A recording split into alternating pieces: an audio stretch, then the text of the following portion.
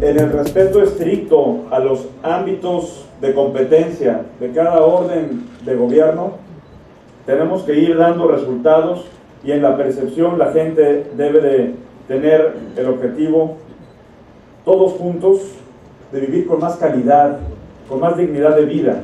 Ese es el objetivo en términos de seguridad, en términos de la política que debemos de seguir todos en conjunto. Ayer teníamos una reunión, la Federación Nacional de Municipios, con el próximo presidente de la República, con el señor Enrique Peña Nieto. Le hacíamos saber la importancia que ha tenido en años anteriores a la fecha los fondos que van dirigidos hacia la seguridad pública en términos municipales.